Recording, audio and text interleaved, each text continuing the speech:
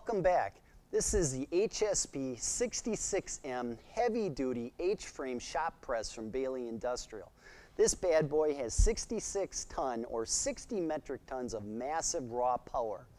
The actual table width on here between these beams, the working width is 29 and a half inch or 750 millimeters.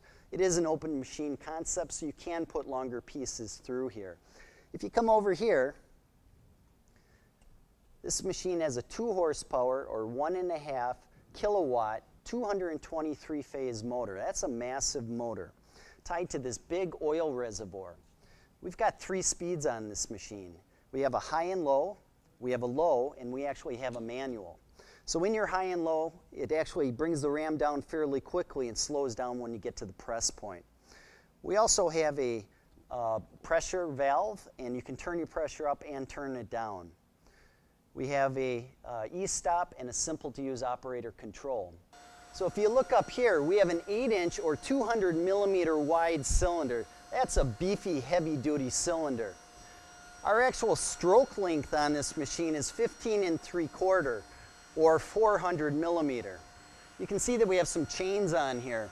This is actually for lifting up this heavy table. Simply pull the table up, move your pins in other, any of these other positions, and bring your table down, and we'll pull this piece off. Okay, we also can take this ram cap off. If we take that ram cap off, the actual ram itself is threaded. So if you want to do press brake tooling or tool this machine up the way you want, you know, that's your, your option.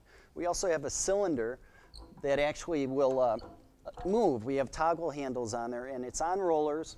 It will move left to right.